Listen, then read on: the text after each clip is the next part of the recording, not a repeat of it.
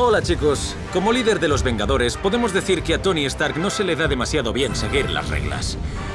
A veces también pone de los nervios a la gente, que se lo pregunten al Capitán América. Hoy os narraré este vídeo en el que los Vengadores, a pesar de estar separados de manera temporal, dejaron a un lado su ego y se unieron para salvar a su amigo Falcon y al resto del mundo de la plaga de Ultron. Esta es la historia de los Vengadores, los más poderosos de la Tierra. Vamos allá.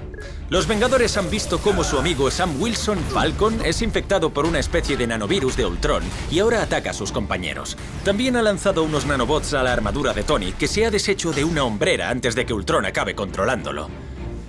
Es genial que vuelvan a luchar como un equipo, aunque parece que están un poco oxidados. Thor se arrepentirá de esto. Esto podemos pasarlo. Lo de las peleas en el campo de batalla no deja en buen lugar a estos superhéroes. Persiguen a Ultron fuera del parque y bajo tierra. Pero no se ha metido en un agujero cualquiera. Ultron se ha metido en el metro para infectar a todos los viajeros. Inteligencia Ultron, inteligencia Ultron conectada. Yo no diría tanto como inteligencia, la verdad. Cuento uno para ti y otro para mí. Lo siento, Thor. No quisiera decirte esto, pero Hulk es bastante rencoroso. Parece que vuelven a ser lo que eran como equipo. La revolución de Ultron ha comenzado. ¿No sabéis cuándo dejarlo? ¡Los Vengadores nunca lo dejan! Esperad, esto no os lo podéis perder. Espera, ¿no lo habías dejado? Vaya golpe de Ant-Man y...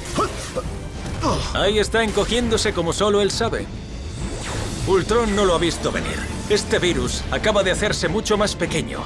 Ahora que el Falcon de Ultron está controlado, al Capi se le ha ocurrido algo. Quizá no estés de acuerdo, pero seríamos más eficientes combinando nuestras unidades. Qué forma tan curiosa de pedir la vuelta al equipo, ¿no? Pero tenía razón.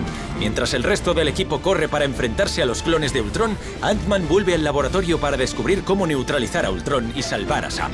El Capi y Tony se dan cuenta de que tienen que localizar al Ultron principal, el único que había antes de empezarse a clonarse con los nanobots. Y en cuanto se dan cuenta de que la Torre de los Vengadores ha cambiado un poquito, ya saben a dónde deben dirigirse. He sabido vuestros movimientos. Los humanos son tan predecibles. Pero si lo han encontrado ellos. Y dice que son predecibles. De vuelta en el laboratorio de Ant-Man, En fin, a ver qué pasa. por fin ha conseguido desarrollar una fórmula con la esperanza de liberar a Falcon de las garras de Ultron.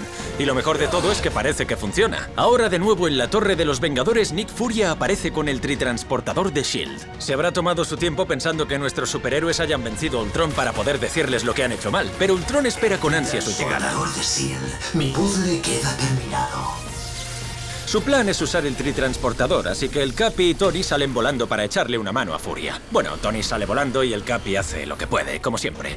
Vamos a pasar esto a cámara rápida. Los demás Vengadores se ocupan del problema que hay en la calle, mientras Ant-Man está cada vez más cerca de liberar a Sam. Ya le ha administrado otro compuesto que parece funcionar, pero antes de liberarlo del todo a Sam se le ocurre una idea.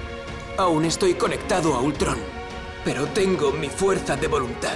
Rápido, ponme en contacto con Furia. Sam usa su conexión con Ultron para descubrir cuál es su plan maestro. Ha dado con él en una aeronave que sobrevuela el espacio aéreo para hacer que su virus se vuelva global. Pero Iron Man sabe bien qué hacer. Llegar hasta la aeronave y mandar al retorcido robot Ultron directo al Sol. Y si no te sale bien, seremos los responsables de destruir el planeta. Demasiado arriesgado. ¿Asumir un riesgo que acaba salvando el mundo? Tony hace eso cinco veces antes de desayunar. Eso le convierte en el líder de los Vengadores. Por primera vez en mucho tiempo, el viejo amigo de Tony, Steve, le apoya en algo. Y lo del viejo no es porque sea viejo. Bueno, todos sabemos que es viejo. Pero me refiero a que son amigos desde hace mucho tiempo, ya me entendéis. Tony va en busca de la aeronave de Ultron y lo distrae mientras Falcon revierte los efectos del nanovirus y carga todas las copias de nuevo en la fuente. Todas las unidades Ultron transferidas.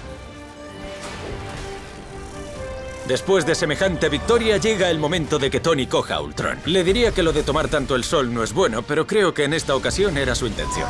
Hasta siempre, Ultron. Pero cuando Tony está a punto de volver a la Tierra, la radiación solar hace que la armadura no le funcione bien.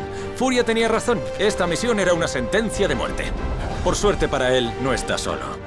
Thor ha atravesado el Bifrost y se ha teletransportado de nuevo a la Tierra, donde Hulk los ha cogido para proporcionarles un aterrizaje seguro. Esto demuestra que si los Vengadores están de nuevo reunidos, nada es imposible.